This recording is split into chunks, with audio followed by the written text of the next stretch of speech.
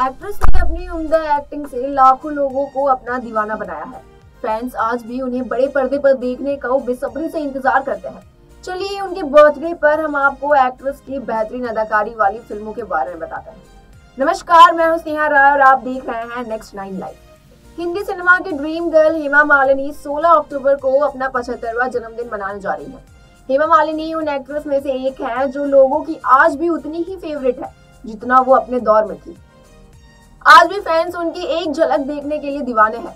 बॉलीवुड की फ़िल्मों में उनकी अदाएँ, उनका डांस उनका अंदाज फैंस को काफ़ी पसंद आता है। ऐसे में उनके जन्मदिन के खास मौके पर हम आपको उनकी कुछ बेहतरीन फ़िल्मों के बारे में बताते हैं, जिनमें एक्ट्रेस की बेहतरीन अदाकारी देखने को मिली। इन्हीं फ़िल्मों ने हेमा मालिनी को बॉलीवुड की ड्रीम गर्ल बनाया था। हेमा मालिनी ने सपनों का सौदागर फ़िल्म से बॉलीवुड में कदम रखा था। इस फ़िल्म में वो राज कपूर, तनुजा और नादिरा के साथ स्क्रीन शेयर करती नज़र आई थी।